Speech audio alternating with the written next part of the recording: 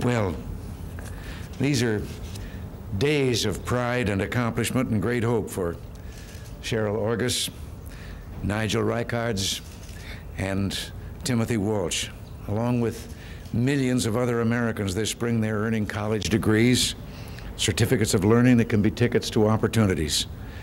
But unlike most of their fellow students, these three outstanding young people have read the books, absorbed the charts, and conducted the experiments without being able to see. They've completed without sight in a sighted world, and they have excelled. We all congratulate you. Cheryl, Nigel, and Timothy, you have much to be proud of. You've brought honor to your families and are an inspiration to your countrymen. Looking over your records, certain shared qualities stand out integrity, determination, and drive. Your professors talk of your competitive spirit and say they expect great things. Well, so do I. Those who've had the privilege to know you and we who are here to honor you want you to know we believe in you. We're relying on you to continue to lead your generation, to improve the quality of life in your communities, your country, and in the world. You live with a handicap, yes, but because of your strengths and your personal courage, you've proven you're more than equal to the challenge. And you also have the great blessing of having been born Americans. Thousands of your countrymen volunteered their time and resources through recording for the blind so that you would have a better chance to reach your potential. Since the organization's founding 31 years ago, more than 55,000 students have been helped, as you were. The volunteers who've made this program work are just one small part of a nation that's known for volunteers, charitable organizations, neighborly cooperation, and friends.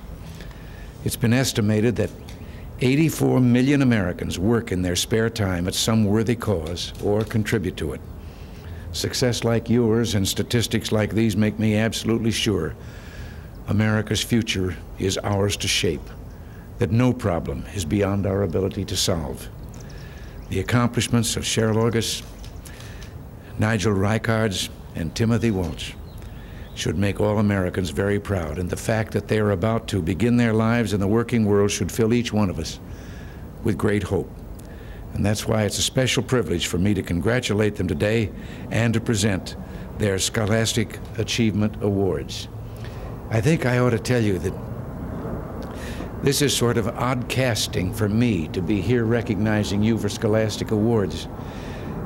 I have just been back to the commencement ceremonies of my own college in Illinois where I got my degree 50 years ago.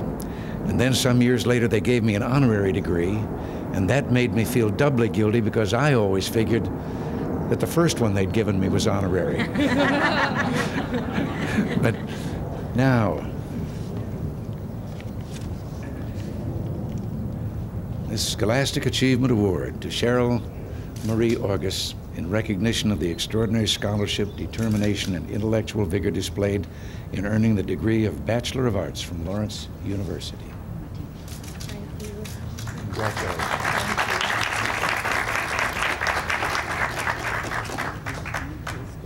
This Scholastic Achievement Award, and for the same reasons, uh, earning the degree of Bachelor of Science from the University of Florida to Nigel Bruce Richards. and to Timothy Allen Walsh in, for recognition of the same qualities, the degree of Bachelor of Arts from the University of the South.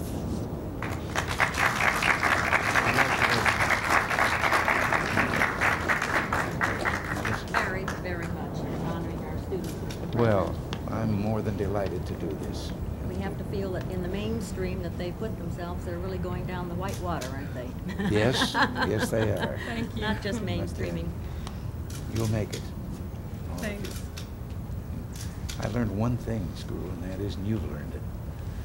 You know, it's uh, the world can look very frightening when you're just coming out of school, but then if you stop to think, you've been living in a kind of a community there in school. If you made it there, That's true. you can make it outside too. Just more steps, thanks. That's right. well, God bless you all. Thank all of you. Thank you very, very much.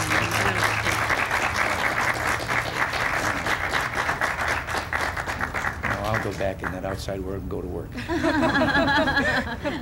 We thank you for taking the time. I'm very much pleased.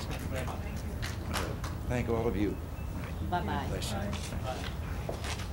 Okay, you're all, you're all fine, and you're just right here, and how did you like that? Did you get, did you get the thrill of it?